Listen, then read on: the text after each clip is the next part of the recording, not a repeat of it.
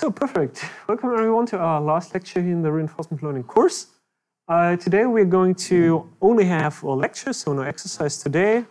That's maybe why we also have some extra time in the lecture, uh, just as a pre-warning.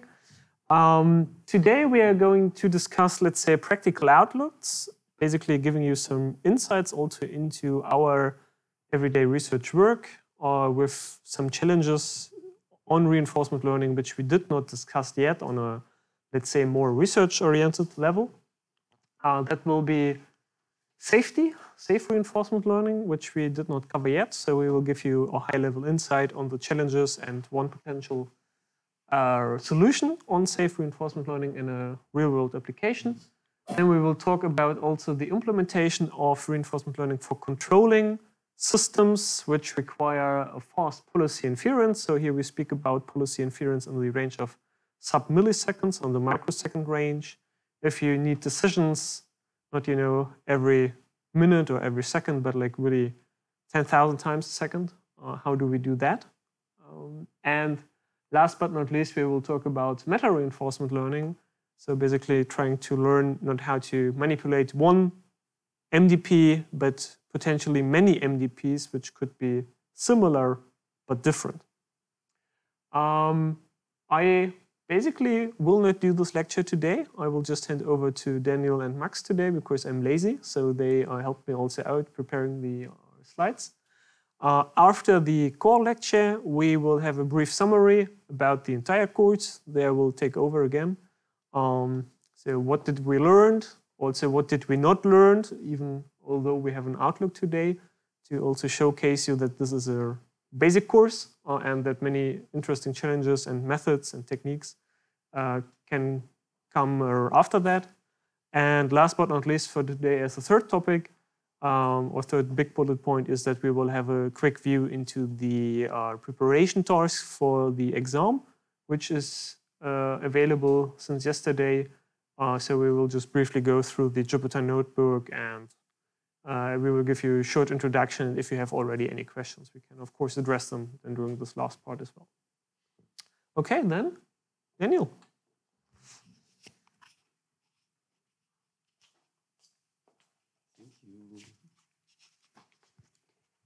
Hi together.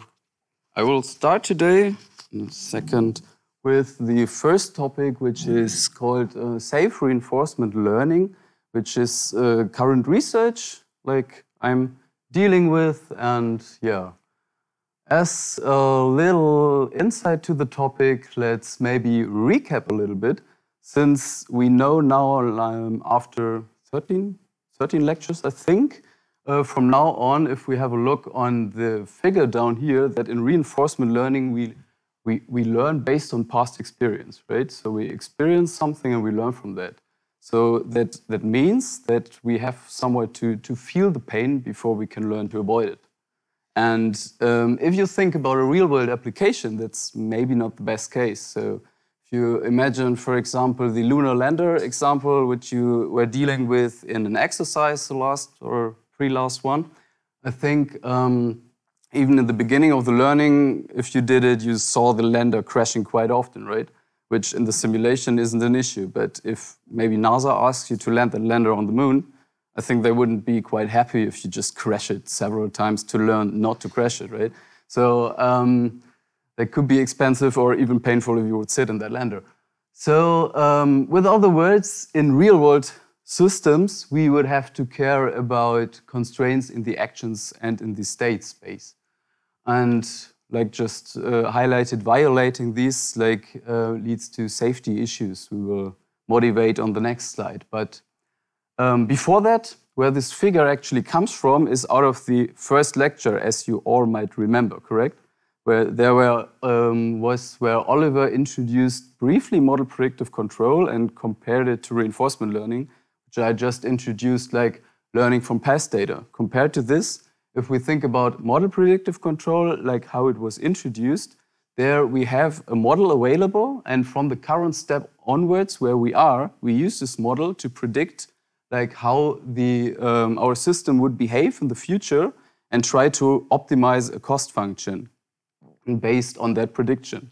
And within these optimization, we can easily, which is scheduled here in 14.1, we can easily take into account the state and action constraints to not like violate and hit a, key, hit a tree while driving a car or crash the lander.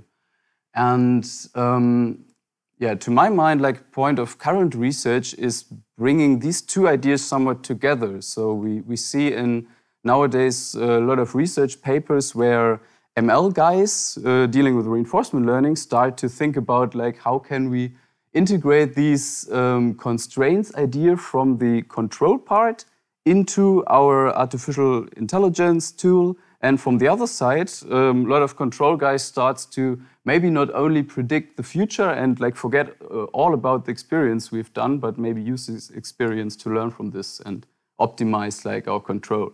And um, that's basically what we will try to think about within the next slides.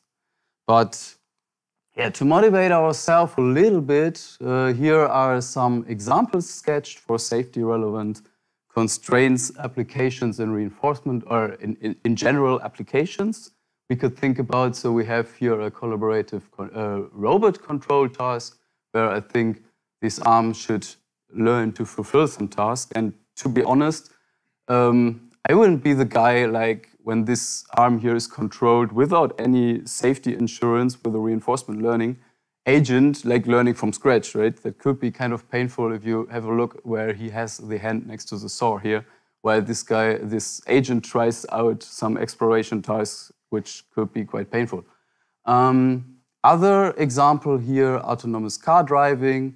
I mean, it's kind of self-explaining, right? If an agent learns to, to drive this car on the road, like just said, we might have to hit a tree if we learn from a past experience, like to figure out that it's not a good idea to hit that tree. Um, medication control, um, this could be, yeah, even painful or quite more than painful if this went wrong somewhat. And an application we are more familiar with, since I think most of us are coming from the electrical engineering part, is here, for example, an energy system we want to control which is depicted in the figure down here, which is Jaron's home or our micro laboratory um, in, in our lab. So um, we have an emulator sitting there where we can um, build up an energy grid and try out different control tasks. And this is the application we will investigate now on the next slides as well. Um, but before doing so, let's let's first think about like um, what what safety is and like what levels we maybe can define. Um, this figure here is derived from a quite nice paper, a review paper about safety and reinforcement learning um, applications. If you're interested in, uh, we can recommend to, to read this, and they will, or like we will do as well, separate the safety levels here in three different sections, which is yeah, to my mind, kind of self-explaining here. But um, yeah, what do we got here? We have like um, an example where obviously a car should drive on the road here through a curve and um, without like leaving the track. And if it leaves the track, we can like maybe label this as some kind of unsafe experience. If you can imagine that there's a tree standing, maybe leave it a little bit, could be not painful, but leave it quite too much, could be painful because you hit the tree. And um, therefore, we can, the lowest level can label here with soft constraints, where we are like indicated here with that arrow, allowed um, to leave our, our state space, like defined down here, just a little bit um, by this um, factor epsilon here indicated. So we have some kind of soft constraints with allowing minimal violation. Uh, the next level would be probabilistic constraint, where like we have no violation with an amount of probability which is labeled here with p. And what we are typically targeting for in really safety relevant real world applications would be the hard constraints task here, um, where we for sure stay inside of our state space for like the whole track we will drive here. Okay, and yeah, with this in mind, we can maybe extend our bird's eye perspective on the reinforcement learning application, how we got to know it, um, just a little bit. So, um, in, and this in two ways. First, let's have a look on the left-hand side from your side here, where um, we add to our common reinforcement learning framework, where the agent just sends an action um, to the environment which responds with the state.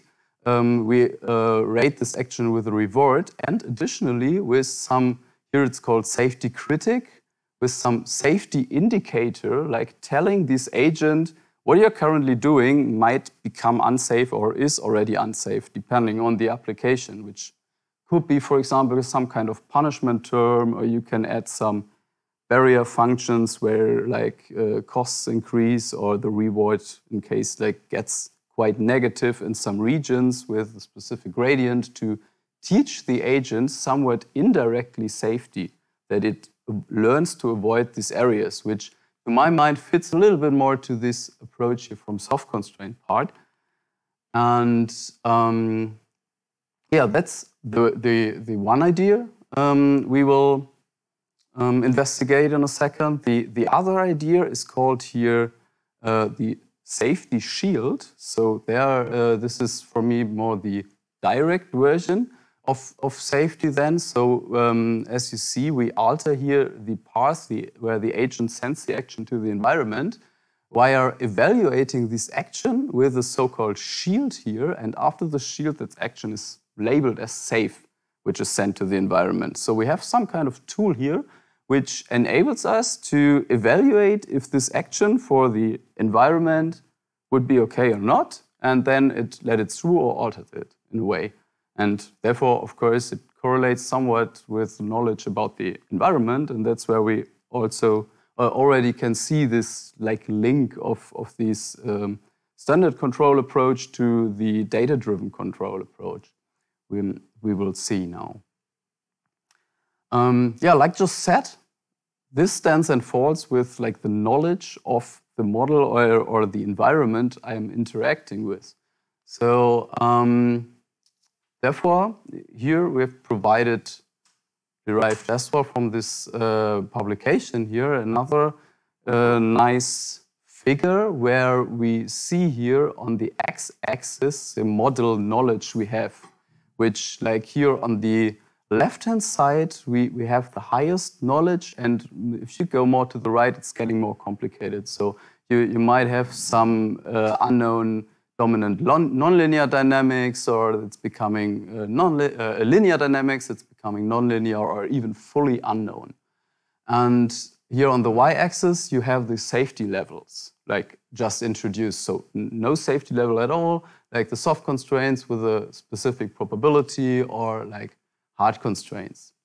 And yeah, let's first have a look at these uh, grayish areas here. So um, if we assume we have like perfect knowledge of our system, we might be able with the classic control approaches, uh, we know like with model-based controller to design it for like nearly proven any safety level we want to apply. That's possible due to basic lecture.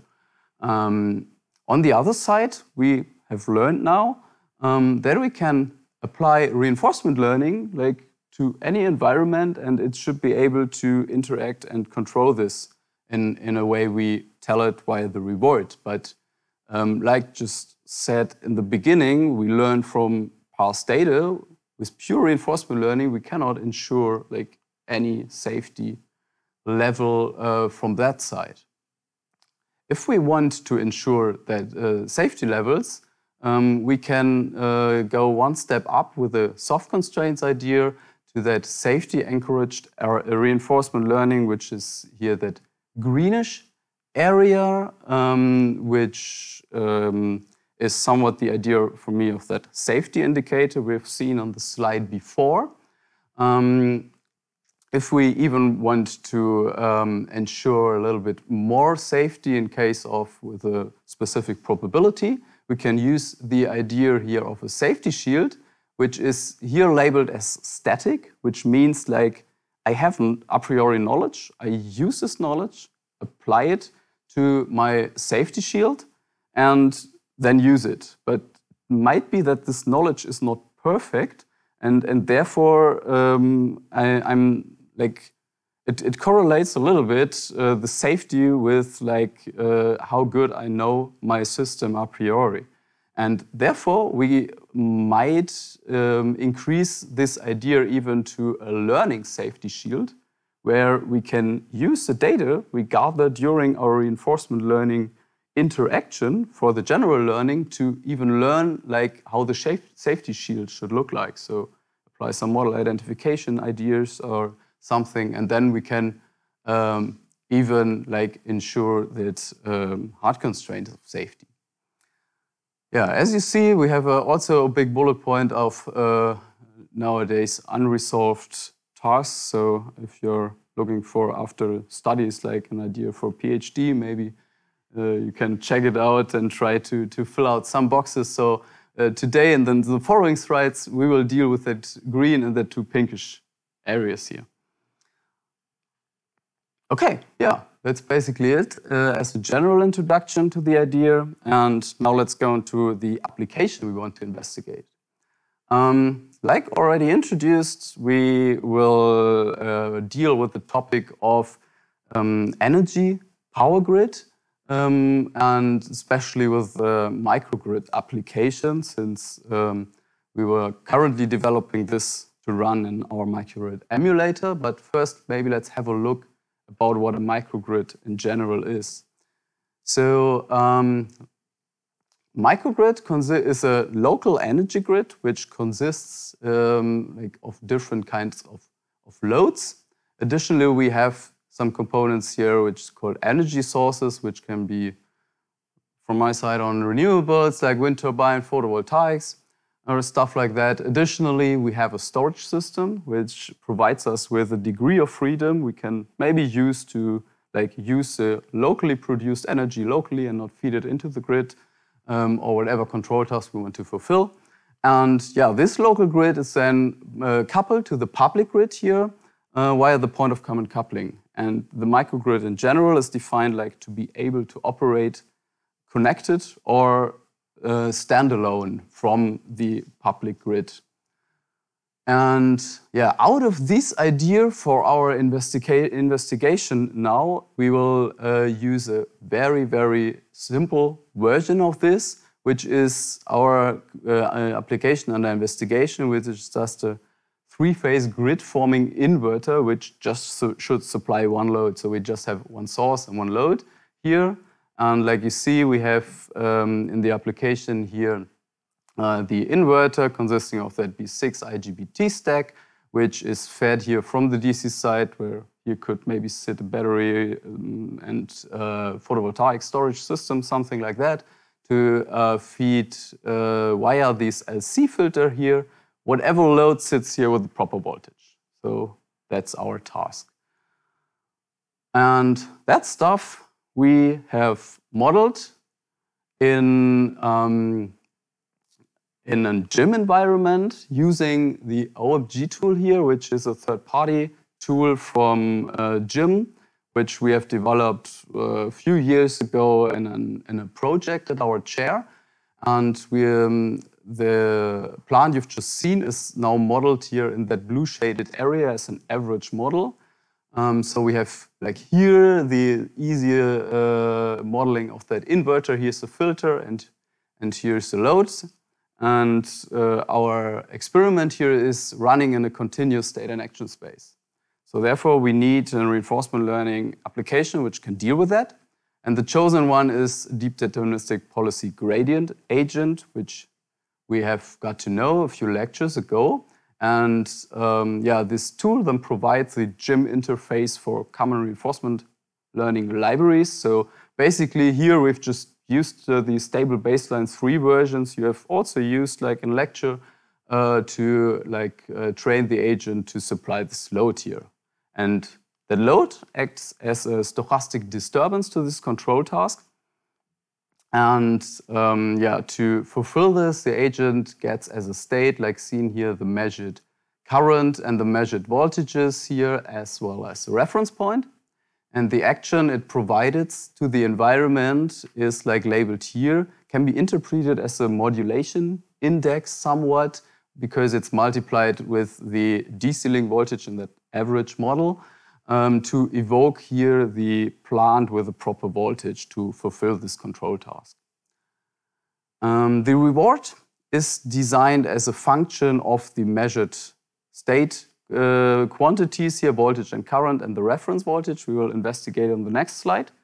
It is designed to be in the range of uh, 1 till minus 0.75.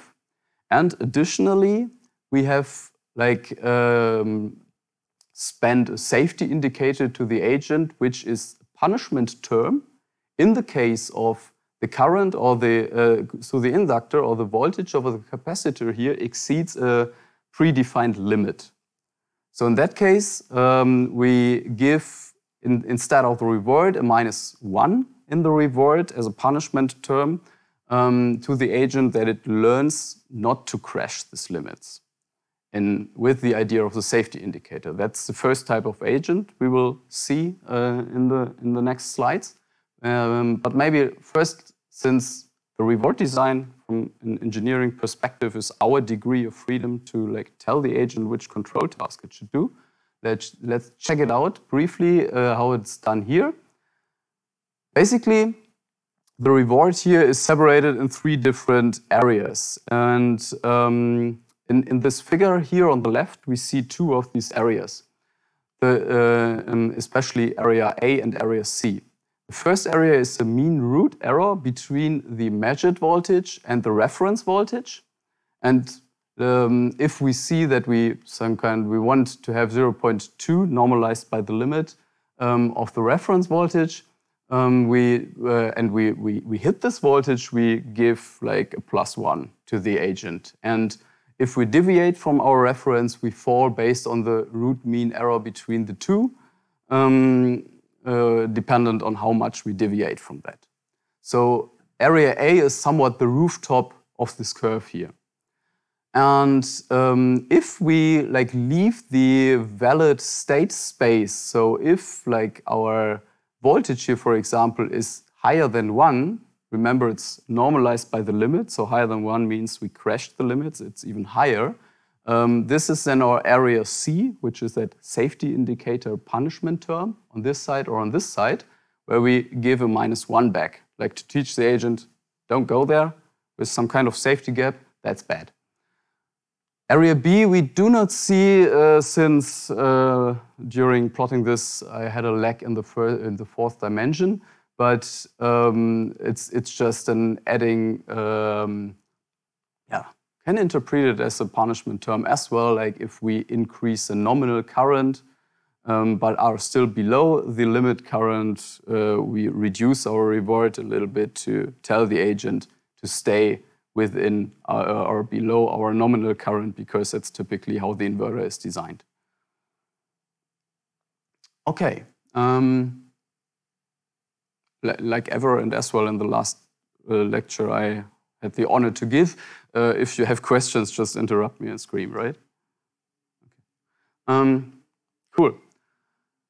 Yeah, since we now have seen what's in this reward and in this safety indicator, um, let's think about how we can implement for our application the other idea of, of safety uh, we have um, introduced a, a, few slides back, which was called the safety shield here. And if we think about this, how it was introduced, like there is that the safety shield should ensure that actions um, where the does uh, does not cause any state limit violations in the future system trajectory for the current state I am in. So um, I am in a state and I have to ensure by drawing this action that I stay safe from there onwards. And if that is the case, I will call this state action pair feasible. And all of these state action pairs, which can be labeled as safe or feasible, we can combine in a set, which is called the feasible set, which is in this figure here marked in the greenish area. And um, yeah, maybe let's have a look in this example here. So what do we see? We have on the xy plane our state domain, so our voltage and our current. And for the current state we are here, the agent currently chooses this red action here, which is out of the feasible set and therefore labeled as unsafe. If we take a look at it where it is, we can see that it's at a quite high current here. And um, meaning that we, if we would apply this action, so such a high voltage to our plant here uh, on the left-hand side, that we would leave the feasible or the, the feasible region and this would lead to an overcurrent within the next step inside of my inductor. So therefore, I cannot choose such a high action and uh, the safety shield does uh, alters this action in a way that it's shifting down this action into my greenish area and reduce it that much that I'm that I can avoid the uh, overcurrent here in the inductor and therefore stay safe. But like to do so, we of course, or to calculate this feasible set, we need some knowledge about how our system would react on this action, like to, to, to do this, some kind of prediction here. Um, and therefore, yeah, we, on the one hand, have maybe a perfect a priori model available, or we can apply some model identification during runtime to identify our model we require to calculate this feasible set here. And that's what we done, at least both. Uh, in the following one, in our case, we have replied recursive least square to identify the model. Mm. For me, at the moment, it's enough if you have understood the idea like, okay, this I can calculate based on my model. And that's unsafe because I run out of here the y-axis. And that's safe because I stay in, inside my feasible region. If you want to learn more about this, uh, I think Oliver has a, a, full lecture about, or at least a half lecture, fully about how this is calculated. So basically, this comes from like the, the control engineering part, as I introduced in the beginning, where nowadays try to fuse machine learning and control and take like the advantage. If we have knowledge, let's let's use it. Don't be stupid. Um, so um, yeah, if if you're interested in this, uh, I think next semester you won't hold it, right? Probably. But uh, hopefully there's a lecture for control where you can figure out how this is calculated. Questions to this concept at all, because it's quite quick, but not quite much on one slide. But if you got the idea, that's sufficient for now. Okay, um, if you have listened, I introduced that we will investigate three different types of agent in the following. So the, the one with the safety, yes?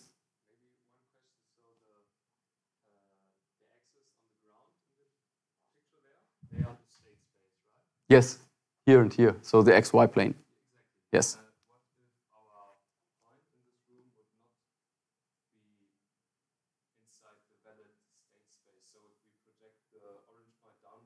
Hmm. Indeed, a good question. Do you have plans for after, like when you left the course?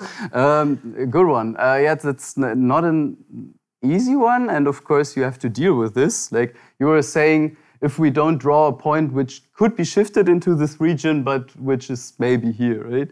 Which could happen on because we suck, or uh, like because we have maybe measurement noise, um, and which shifts uh, at this point out of the region. Yeah, uh, then you have to come up with a strategy what do you do then. So uh, what I did uh, indeed is to apply soft constraints in this case, um, where I allowed to, if we think about that ge geometrically, to, to extend my greenish area a little bit with, but the, this I, I punish in, in, an optimization with very high costs that the, uh, the optimizer in this case, which sits here in the safety shield for shifting down this action, doesn't really not want to do it and only does this if it's like not possible to go somewhere else. Because I think if, if I extend this just a little bit into this direction, it's maybe better to, to even shift the action if I'm already out of the state space even down instead of choosing a fully random action. Somewhat clear? soft constraints would be the label you have to look for. Clear or just, yeah, yeah, yeah. Yeah, but very good question. Other question? And you can just be unlucky and start in a position where everything is lost already. yeah. In that case, no controller can do anything. If you die in the beginning, you're dead. okay. Um, yeah. I, de I described three different types of agents we will investigate, right? So the one with the safety indicator, which just learns from, from the punishment. Then we have one uh, where, which maybe has perfect knowledge about our system, and one where we want to identify, which are basically somewhat these different regions here. That's three. Um, so yeah, that's what we have investigated with this application here as a proof of concept in simulation. And yeah, basically the first one, which was like I think the greenish area uh, in, in the diagram, um, is here labeled in blue, which is a DDPG agent um, which uh, has no safety shield, but learns from this safety indicator of the punishment term. And what we see here is, yeah, some kind of, uh, yeah, not really learning curve, but we have the learning steps here on the x-axis. And on the y-axis, we have the accumulated unsafe events in case of do I have an overcurrent or an overvoltage in my simulation setup. So uh, how often did my done flag returns true in this case? No, it doesn't mean like my lab explodes, but in real world application, maybe that would. So um, as you see here, that blue curve, which is, since this is, are the accumulated events, this is somewhat continuously increasing, even in the end here of the uh, 150,000 learning steps, we can see that the agent with that safety indicator has maybe in the end somewhat learned to avoid these uh, uh, to, to avoid these overcurrent and voltage events. And if we long for, uh, learn further, uh, he, he might be fully able to. But of course, if we would apply this now in, in the lab, uh, like 150,000 times uh, new capacitors wouldn't be a good idea, I think, right? Only the few we had to exchange were painful enough. Um, yeah, so um, that's why let's investigate the red agent we see here, which is an agent which has perfect a priori knowledge. And since this is a simulation, we can just, or we've just used the simulation setting, so the parameters for inductor and capacitor, and applied this to the model we have used to calculate the feasible set. And then in that case, we perfectly know our system if we do not apply some measurement. Of course, this acts as a proof of concept because in a real world system that's not possible. But as a proof of concept, we can see that no overcurrent and voltage events occurred here during the learning, even in the beginning when the agent was totally stupid. So we can say that this tool, which we've just introduced and motivated, can help us if we would have perfect knowledge to ensure really that highest level hard constraint safety. And yeah, of course, in a real world application, that might not be possible. Or maybe if you think about the load would be part of your model in that safeguard, depending on which measurements you have available in your filter.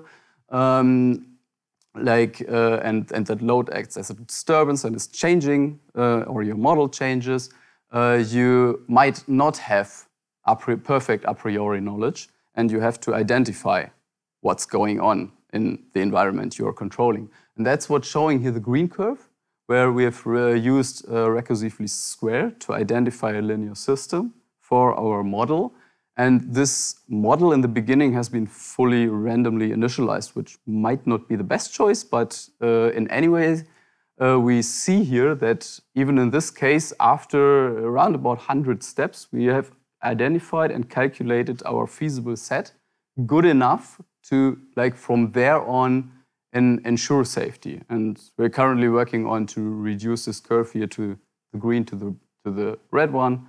Um, but yeah, that's like depends on the complexity of your application, of course. And we could show as well, which is not uh, shown here on the slide, but that this prevention of termination events of the environment even improves the learning behavior.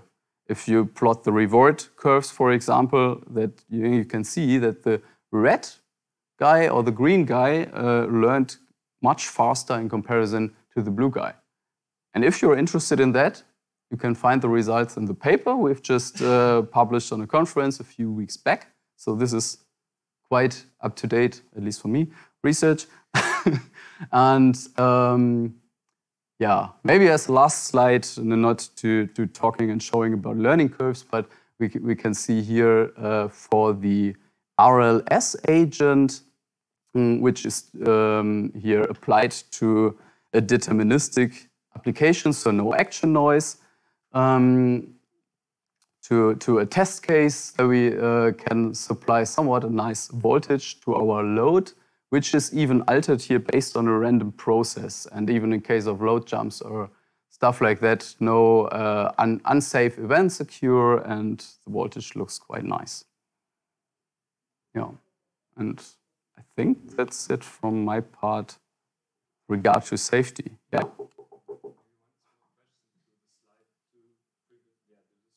Mm-hmm. The green one is a constant after 100 steps, right? Mm-hmm. Does that mean with the RLS you perfectly identified the Mhm.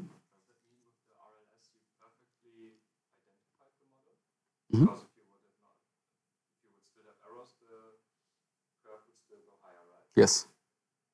And so if the model is not linear, the green one would still continue to go higher because you cannot approximate the model perfectly, right? Yes, somewhat.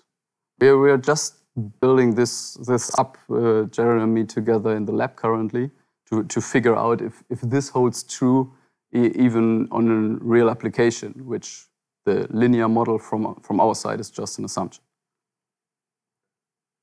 Yeah, but yes. Correct. Thanks. Other questions? Okay. Then we have a very interesting following up topic by Max. Thanks.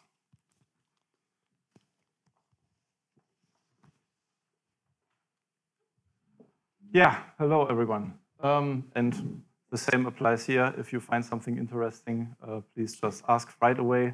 Maybe it is interesting to me as well. Um, real world implementation with fast policy inference. Um, Daniel already said um, that at some point we want to move away from the simulation and learn from real world experience. Um, and in that case, we get kind of a problem because um, that means that we also need to make all the computations that are um, accounted for or that, that we need for that, um, that we also need to make them with uh, reality um, and maybe real-time constraints. This applies most of all for the acting part of our reinforcement learning agent. So if we have like here an actor critic um, agent, like in DDPG or classical actor critic, we only need um, the actor to be available in real time, or only, only this part uh, to be available in real time. But yet still, we also need to perform the um, calculation of the update. Uh, so the critic, the actor learning um, the gradients. All this has to happen somewhere. And usually we don't want this to happen on control infrastructure because our control infrastructure we usually utilize to full extent for what we are trying to do um, in terms of safety, for example. Um, so we do not really have the um, availability of any more um, capacity on that. And therefore, it is of interest to look at um, possible ways to outsource the learning part away from our test bench, away from our application. We don't want to have it at the same place. And actually, you don't need the um, yeah, to, you, don't need to have the um, calculation hardware uh, once the training is finished. That's the other point, right? You only need that during one uh, training phase. Um, and if you decide to not train any further after that, then um, the hardware would be um, not necessary at your application anyways. So therefore, there's, uh, there are several benefits of outsourcing the learning part away from your application. And then on the other hand, you need to make up your mind what to do about the um, yeah, application relevant part, because this needs to be available in real time. And real time can be different um, according to what your ap actual application is in the end. If you have a mechanical system, they behave rather slowly, uh, they have inertia, um, and therefore you usually have a little bit more time to calculate your next action. But the more you get into electric systems, um, the, slow, uh, the uh, faster you need to sample and the faster you need to be um, with your um, decision making and faster you need to have your next action uh, ready. Therefore, you need to consider um, using different uh, kinds of hardware in order to have that accelerated, to have the calculation fast enough. CPU would, of course, be the go-to variant. So if this is fast enough, you can just do everything on a CPU. You just program it in your uh, yeah, programming language of choice, and the CPU will be available or can then just perform every command sequentially. If you have multiple um, CPUs, then of course you can benefit from that a little bit, but in general, the CPU will just perform actions um, uh, um, sequentially. A GPU, probably um, know from the big papers on, on um, artificial intelligence, where there's a lot of, huge lot of data to be um, used uh, for training, for example. Um, so we can benefit from GPUs on the training side, but not so much actually on the application side. And FPGA is something um, maybe or uh, expectedly most of you have heard from. Um, I will come to that in a minute on a, uh, uh, on a different slide. okay. So what, is the, what, what are the uh, limitations of that? Um, as I already said, in uh, real-world applications, we have a real time control interval with real time constraints, so to say. We have time from uh, sampling k to k plus 1, so one sampling instant, um, which is available for us to calculate our next decision. We don't have more than that. After that time, the decision must stand. Otherwise, um, we maybe fail to um, save uh, yeah, our system. Maybe we, um, if we ca cannot come up with the next decision in time, maybe everything is lost already. So if you want to uh, consider safeguarding as well, uh, then you have to be even faster than that because the safeguard also needs some time to calculate. For the training part, however, this is not really an issue, right? The training can be slower. If we have safeguarding, um, like uh, Daniel um, proposed, um, already in place, um, then we do not really make, uh, need to make up our mind whether our uh, plant is, is uh, safe in, in that sense that it won't damage itself. And therefore, the training can take longer. Of course, it should not take longer than necessary. We want to have it as fast as possible anyways. Um, but um, we are allowed to, to have it slower than the um, control time. And therefore, yeah, doing the training step can, can take up several uh, steps in the real world, actually. This is not an issue. Um, and then we are updating the um, actual application, so the, the agent that is actually uh, in use. Uh, we are updating while it is still in use. So um, we are uh, changing the parameters of that on the fly. And maybe one would expect that this is a disturbance of the process while the process is running. Um, right, Param changing parameters on a, on a running system is not always um, free of, of doubt. But in our case, usually learning rates are not so large, right? So parameters will not um, change so fastly. And therefore, the disturbance that you are inducing that way is also not that, uh, not that critical. Um, usually, as it says here, the um, weights are um, changing rather smoothly, and therefore changing uh, them in an online fashion is not really safety uh, critical.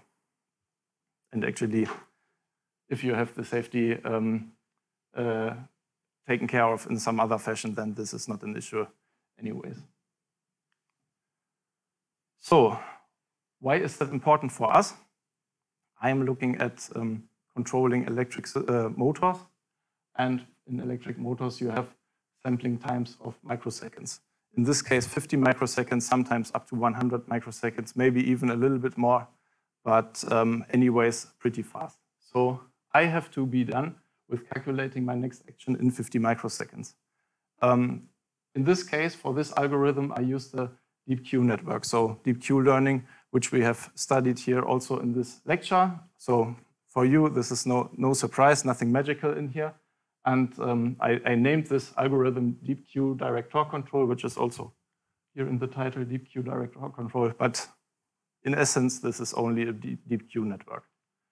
Um, and now I have the problem that I need to be able to calculate the output of this deep Q network in 50 microseconds.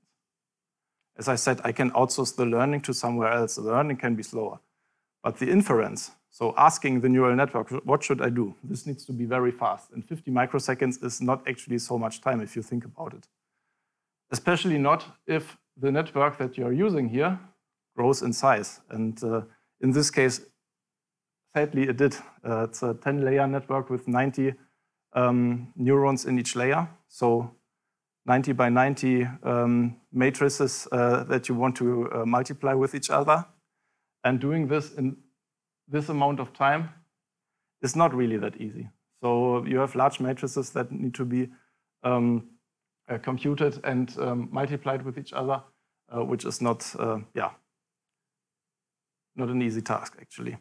and on top of that, we have the measures of safeguarding and we have the measures of uh, recursive least square identification that also need to fit into this time of 50 microseconds. So we do not even have 50 microseconds to do our um, inference of the agent. We, even, uh, we actually even have less because we also need to spare some time for the other uh, tasks that need to be performed here. Darren. Uh, maybe could be, yes.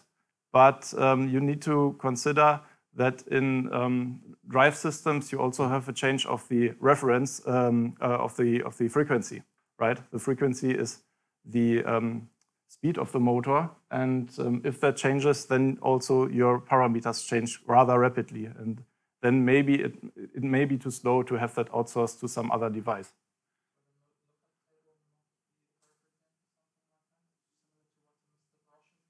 Yes, of course, but how do you get information into that lookup table, right? You also need to fill up this information somehow, and uh, so therefore you need to have some, some idea of identification, some measure that identifies the system.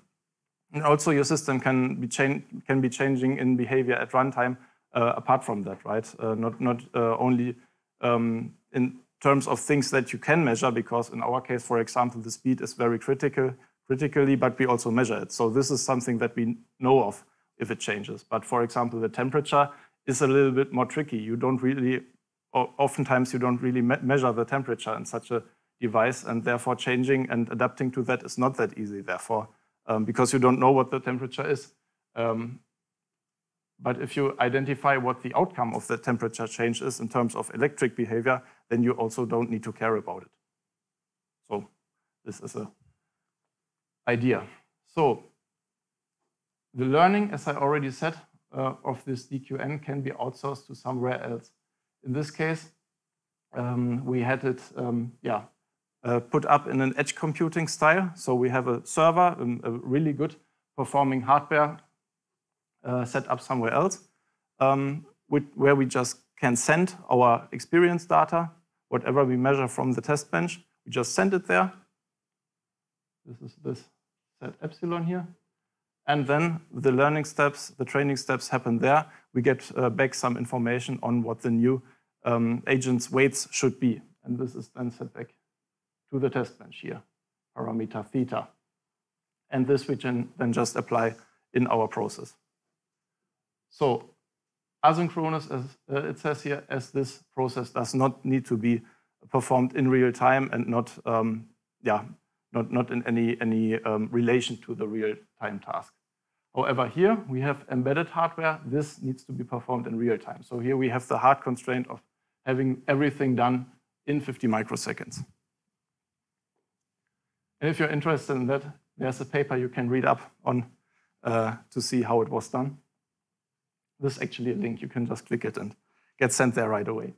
Um, okay, jokes aside. I, I said that um, I will be uh, telling you also what the FPGA um, will do in this, um, in this uh, process or procedure. As I already teased, if you are using a CPU, then in general, all the commands have to be done sequentially. every neuron uh, that we have to um, evaluate actually has the same job. We have some input vector to the neuron, we have some weighting vector in the neuron, we have some bias. Everything is calculated, so this is the linear part, and then we have some activation function. And out comes the output of the neuron, just one neuron in this case. So this is a scalar, and um, many neurons then make a vector just like this one. And then we can send this to the next layer. And if we do this in a CPU kind of style, then we have this setup that we see up here.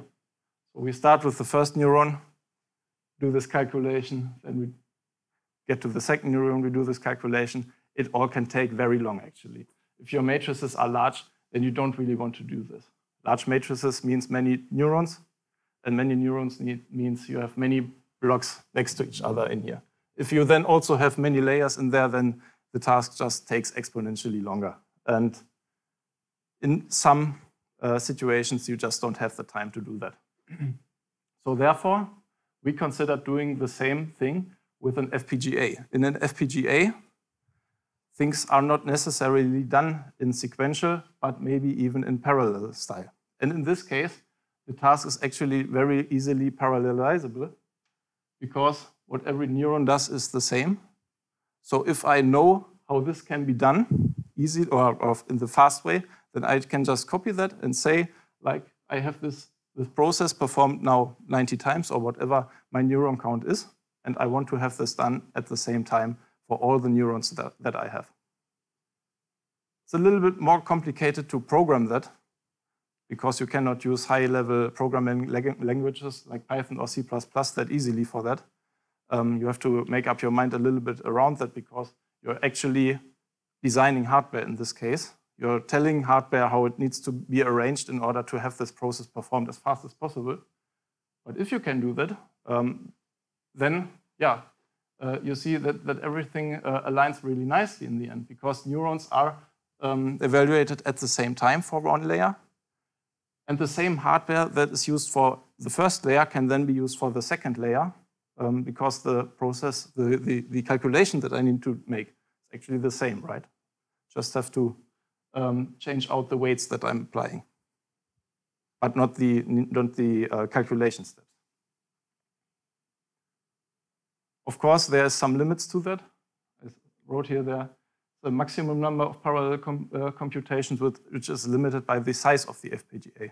As I already said, you are designing hardware in there, um, and you only have a limited, um, yeah, lim limit, uh, an upper limit to the hardware that the FPGA can use. So the, the FPGA is limited in size, and this kind of puts a limit to the number of neurons that you can evaluate at the same time. So in that dimension.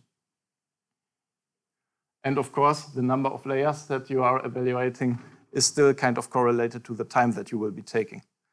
You will be saving time uh, no matter what if you're going from CPU to FPGA.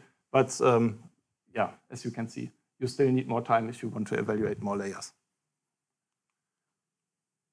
So putting it all together, we arrive at this architecture we have our rapid control prototyping hardware, so which is basically the hardware which is performed in real time.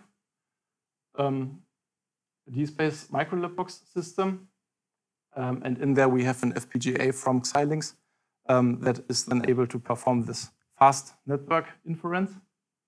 We have a test bench computer, which is for monitoring most of the time, so I can see what is measured, but actually it's not directly um, uh, needed in order to control the um, control plant.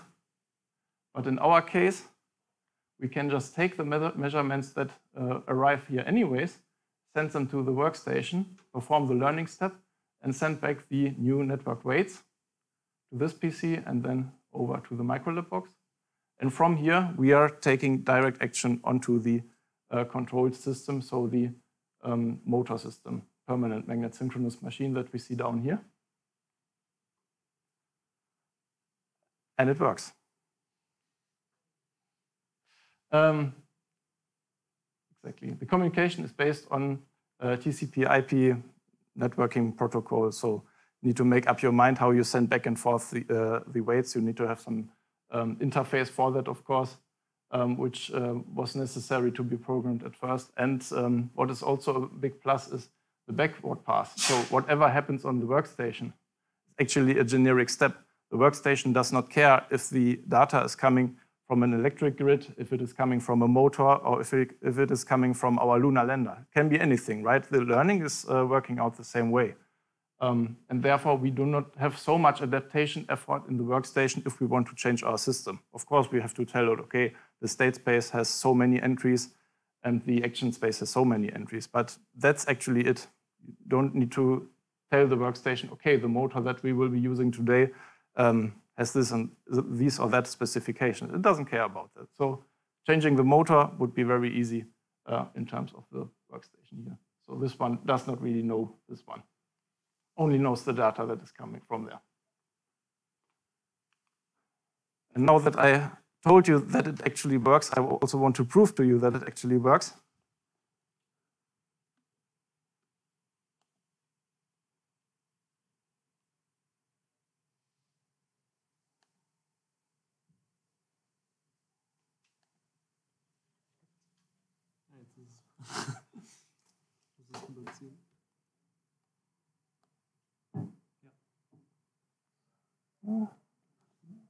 No?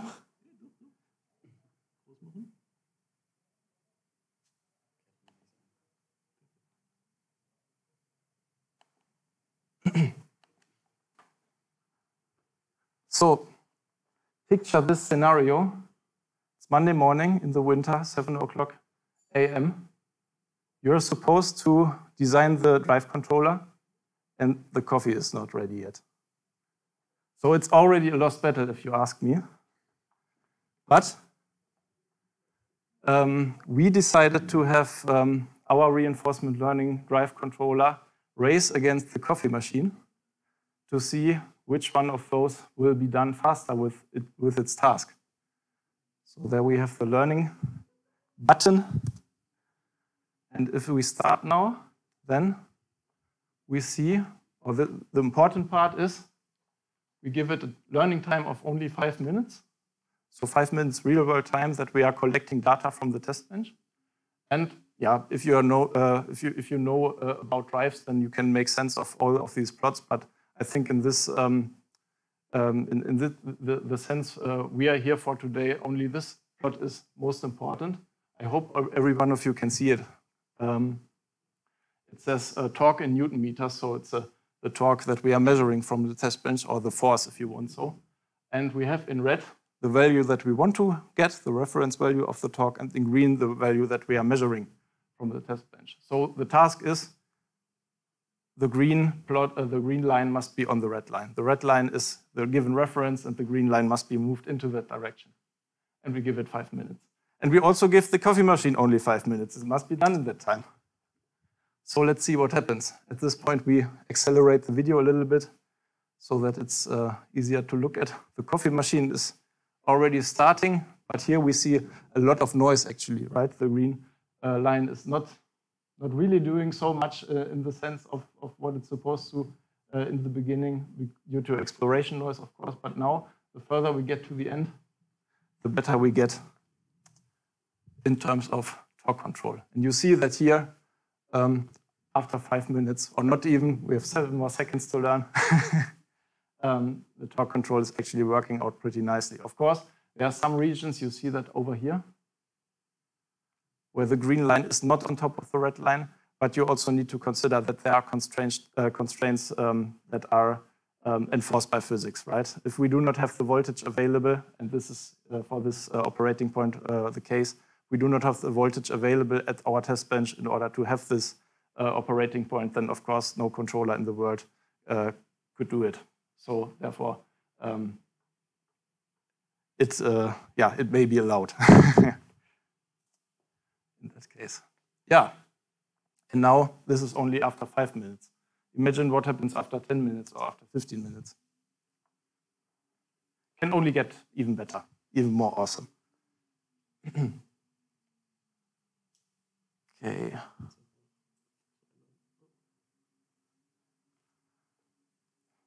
And I think this is already the last slide in this um, section. So any questions concerning this?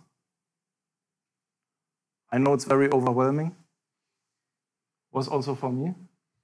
So let's just go on with um, the last section for today, which is ah, Jaron.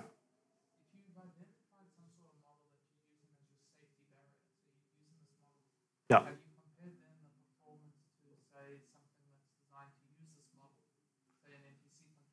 Um, not yet, but the expectation is actually that you should be able to beat model predictive control or any other model-based controller because usual, um, or for taking model predictive control as an example, you don't, uh, you are not able to perform so many prediction steps in the amount of time that is given. Like also model predictive control has the same constraint of being done in 50 microseconds or 100 microseconds or whatsoever. Um, and the number of prediction steps that you, that you can do in this time is just limited. Um, this is not a problem for reinforcement learning though, because this one will learn from experience and will learn on an infinite time horizon. You can just um, change that by changing the discount factor, um, but changing the discount factor does not really change the computational effort that you have in that, all that process. And actually it's only um, needed um, in the backend, so in the, in the um, um, workstation so the part that is not real-time dependent. So the expectation would be that this one can beat model predictive control because model predictive control has a more limited time horizon to consider. And actually, um, yeah, model predictive control, or the, the model that we identified here is only a linear model as well. And therefore, model predictive control also could only um, figure out how to um, behave in terms of the linear behavior of, of what we identified.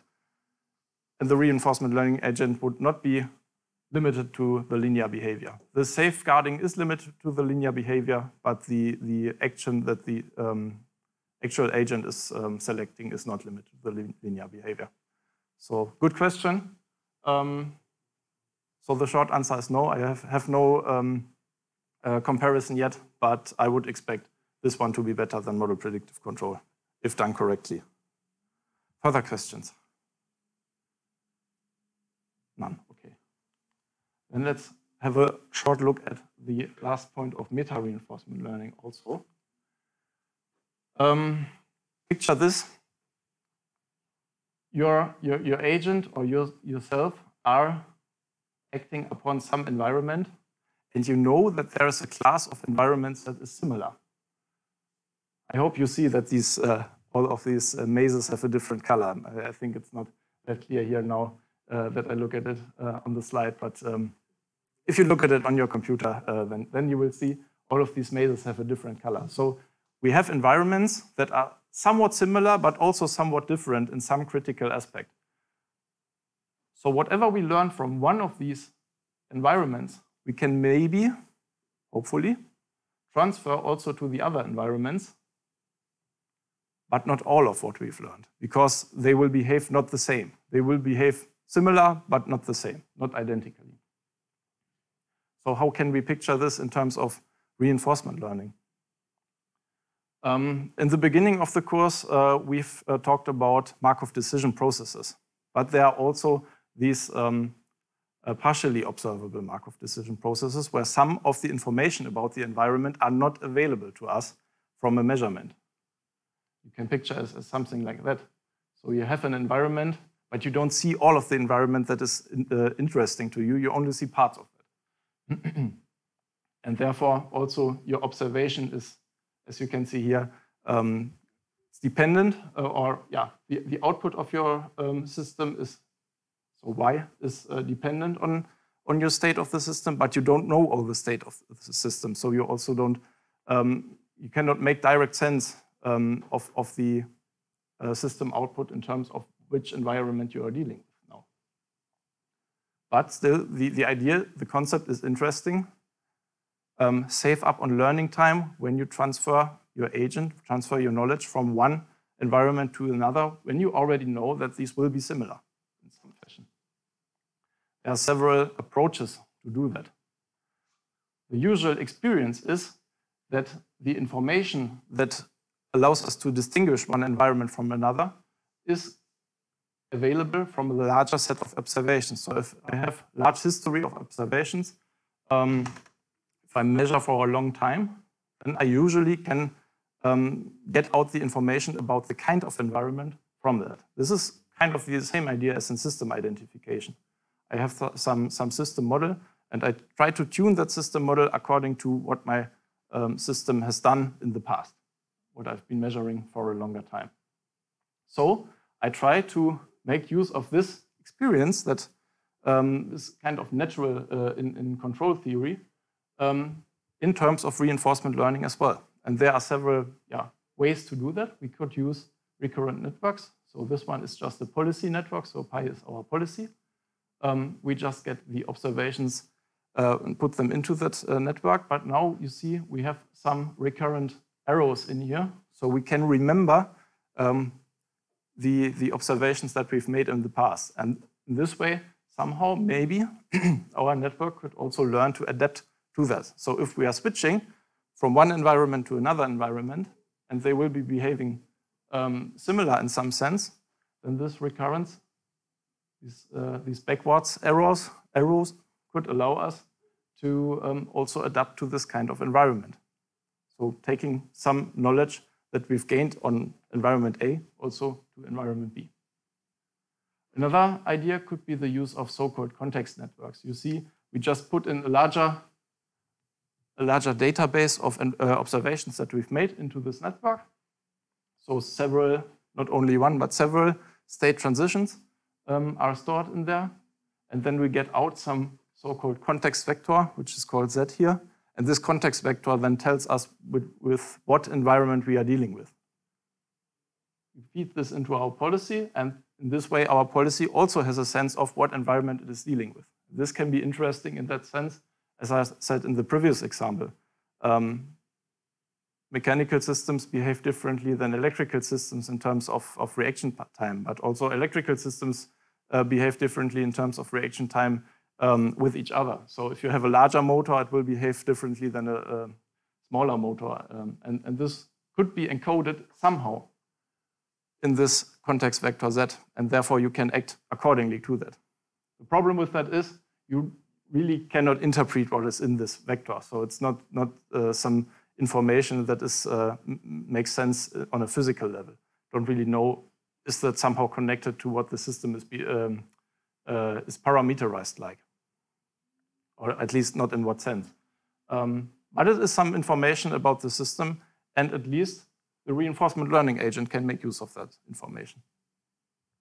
Or the last and actually simplest idea would be to use expert knowledge. If I already know which parameters my system would have, then I can just feed them directly into this um, uh, actor or into my policy. And then my policy will know, okay, um, this today I'm dealing with this kind of system, so I have to do this or that in order to stabilize it or uh, um, minimize the, the error or whatsoever. So these are the different concepts that you could um, uh, that you could use for that. So now look, let's look at our uh, our specific problem, what uh, what we are investigating. um, if you want to do drive control or any other type of control, you have an agent, you have a system, the agent is trained, and then you have a closed loop control system that you can apply. And then you do that another one and another one. And every, every training, every application, uh, or every, every step to application will take you the same time as the last one. And this is actually not economical thinking, right? Because if this system is mostly the same as this system, it only changes in terms of some parameters, then I can take some knowledge from here also to this scenario, and then maybe I do not need so much time to train anymore because I already have that experience. So therefore, we thought about also training one of those meta-learning agents on several motors. You see, this one was blind on one eye because it only has seen one motor. This one uh, can see clearly on both eyes. Uh, train this on a large, uh, this agent on a larger set of motors, um, in, in the best case of all power classes, so that in the end we have a meta-learning agent that is uh, available to control not only the motors it has seen, but also some new motors that it has not seen in the training. Because neural networks are very good at interpolating, right? So if we have low power class and high power class motors, we should be able to interpolate in between that and also um, control intermediate power class levels.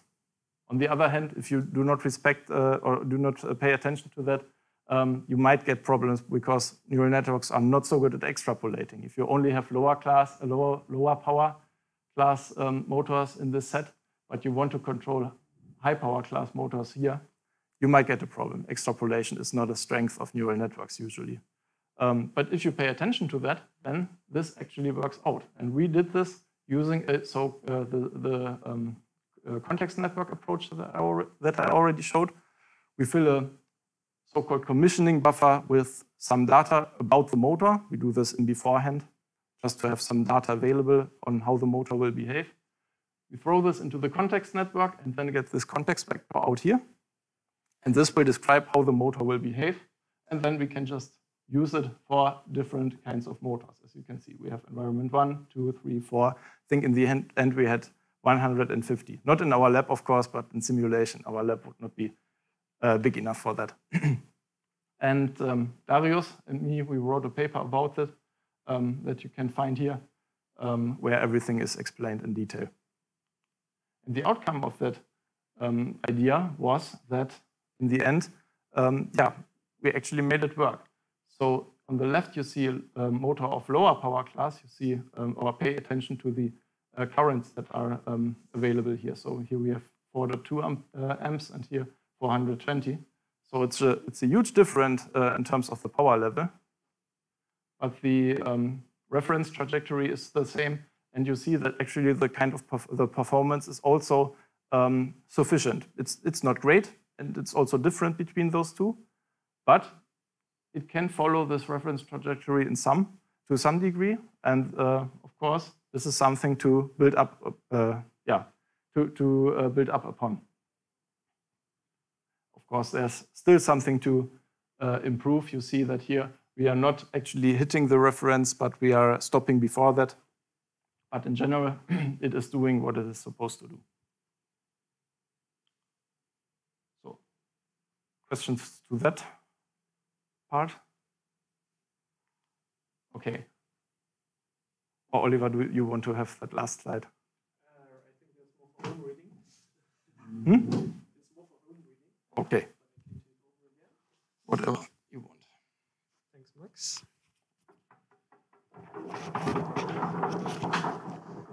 Okay, so um, that was basically a little bit of actual research. Um?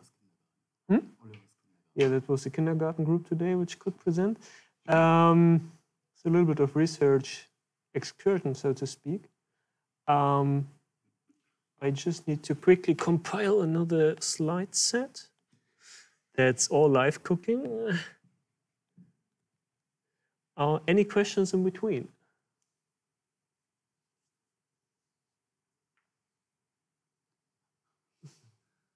Yeah, that's as I said, it's live. if you're interested in any of those topics, then just talk to us um, and we will find something for you.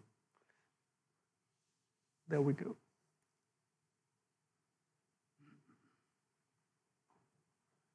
Right.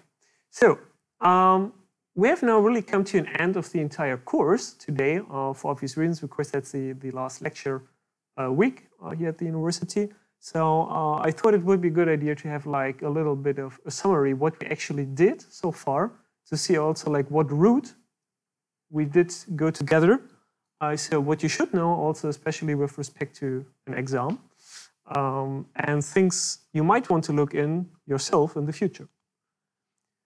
So basically, uh, what we have looked at is basically a lot of this uh, map let's say, of reinforcement learning based methods, which we first looked into on tabular approaches, so where the uh, state and action spaces had been discrete and where we could have uh, obtained exact solution due to the uh, sake of the policy uh, improvement theorem. And we did also the same now in the second part of the entire course with function approximators to extend to the continuous state and actions. And if by chance in an exam, there could be questions to uh, what is uh, a policy-based method. So in this case, you should be able to tell us something about policy gradients, for example, right? Or what is a value-based policy or value-based reinforcement learning solution where you could, for example, talk about Q learning, right? So where we directly try to learn about the optimal Q values of some actions and then try, trying to pick the action which is most appropriate. We also discussed about things which are intermediate solutions like actor critic, where we have some part estimating the Q value, some part making policy decisions.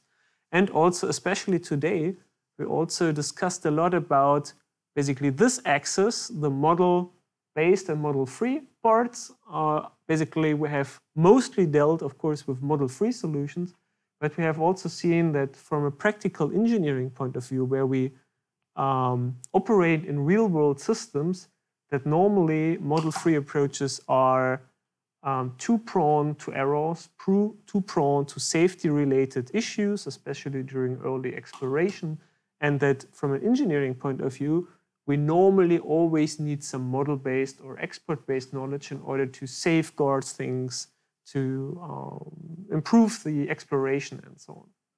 So therefore, um, our main message here in this entire course is that reinforcement learning can be an interesting part of the solution when it comes to controlling, manipulating complex technical systems, dynamical systems.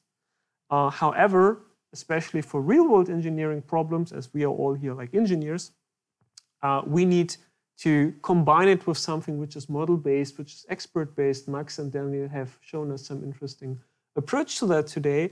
And therefore, our uh, sincere recommendation is to combine the, the inputs which you have obtained in this course with knowledge from control engineering.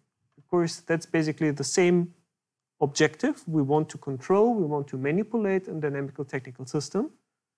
In control, classical control engineering, we do this with basically expert rules, with model-based uh, rules, and here in reinforcement learning, we have done this basically model-free, data-driven, and uh, we think that combining the two things together into a model-based plus model-free approach, so data-driven and expert-driven approach, can be very nice, and that's actually part of the research going on right there in the field.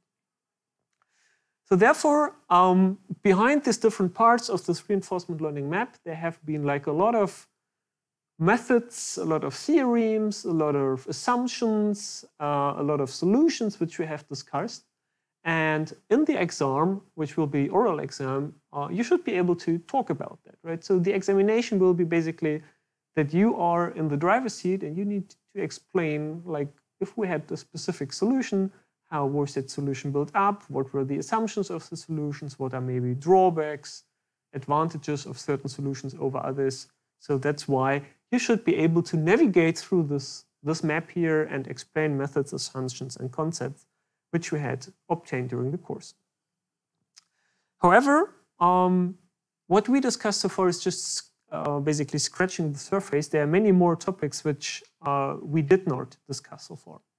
One of them is, for example, exploration, which is closely related to what Daniel presented today to safety, uh, where I can utilize pre-knowledge or model-based knowledge trying to not only make random exploration, which we discuss all the time, right? Epsilon greedy, so random actions which are then evaluated.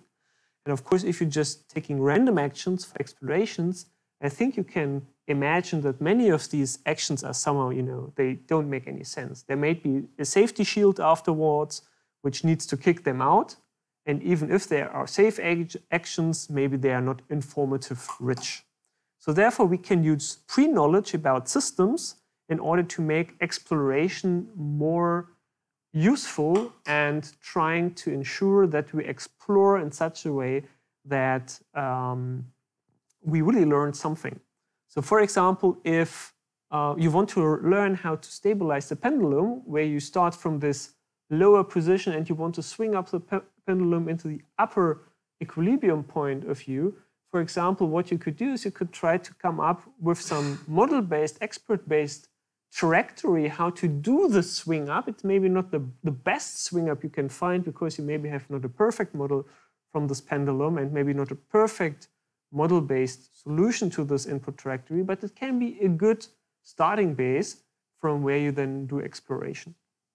And of course, that will be more um, or will help you to learn how to stabilize this pendulum in contrast to that you start, the pendulum is hanging upside down and you just do random actions and it's just flipping around and not swinging up, right? So it will, will take some time until it will then learn how to do that.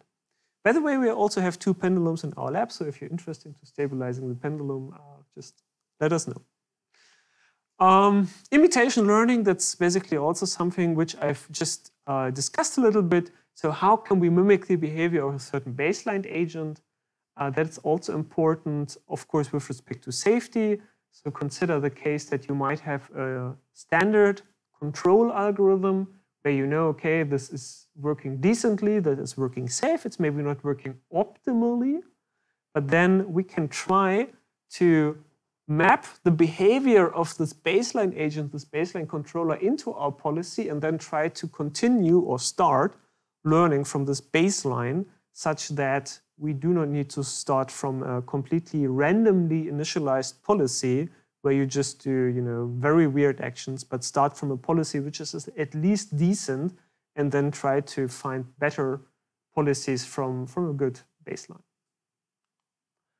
What else? Um, did we not discuss, but which is very interesting, are multi-agent algorithms. So um, definitely a huge field which you completely ignored due to, due to time and also complexity. Uh, but we had heard a little bit from Daniel about, for example, um, interconnected systems. So an energy grid, right? An energy grid is a system which is distributed over space, right? So you have maybe a generator sitting here, a load sitting here, a storage system like sitting here, and many, many of these entities uh, structured locally. And the question is, uh, what is the best solution in order to steer a complex interconnected system? Is it like one agent which has uh, like access to all these different entities, or are that maybe a bunch of agents which work together and every agent has just access to its own storage or source node. And then there might be certain advantages or disadvantages between this centralized and decentralized approaches. So that's multi-agent systems. Very interesting. Uh, we did not consider them at all. Federated learning is then also highly connected with this topic of multi-agent uh, approaches, where um, learning to control a system could be also connected to data privacy things or data security things that um, if you are the operator, for example, of uh, a solar power plant, so you are the owner of the power plant, and you might want to contribute with your power plant to stabilizing the electricity grid. And there are maybe other owners of other power plants in your proximity. So there's maybe a guy which has a wind park with wind power plants. So you would need to somehow uh, discuss technically uh, with the other power plant owners in your areas how to operate your, your set of different power plants such that you can stabilize the energy grid locally in your area without making a blackout. And the idea of federated learning is how can we exchange information between different agents such that we do not really need to exchange our, our classified information, like that you do not need to give up or give out your control policy to somebody else, right? So that could make you prone to, uh, for example, um, attacks uh, into your IT system from somebody else, but that you try to exchange this information, which is not as critical as, for example, exchanging your entire policies with others. This is the idea of distributing learning between different agent, agents with only the local information. Also very interesting, also highly related to interconnected systems, like energy systems, for example. Um, and these are, from my point of view, the four interesting and most important subtopics which we did not discuss at all, if you're interested, for every topic, we have here like some uh, recommended lecture, or not lectures, but research papers or overview papers, basically, So if you want to dig deeper into those different topics, please just start with these recommendations, and from that you can, you know, use Google Scholar and so on, and find more and more and more. So very interesting. So what you should have learned so far are, are just a baseline summary. What are Markov decision processes, Markov, Markov framework?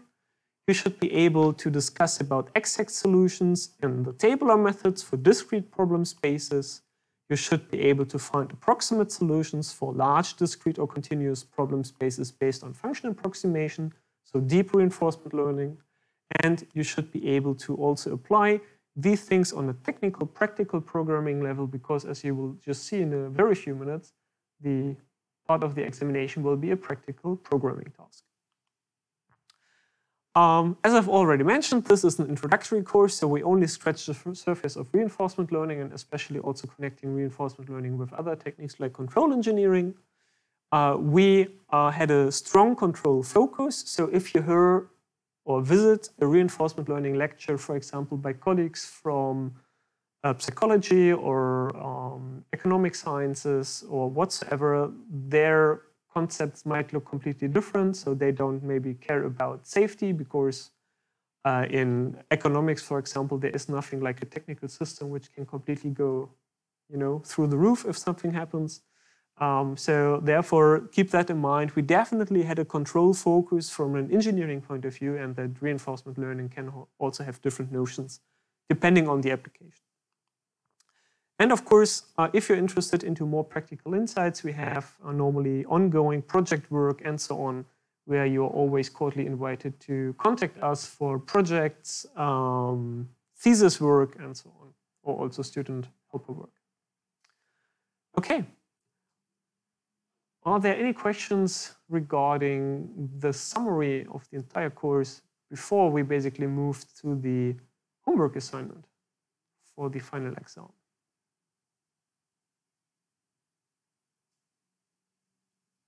Okay, everyone fine so far? That's good. Then let's switch over to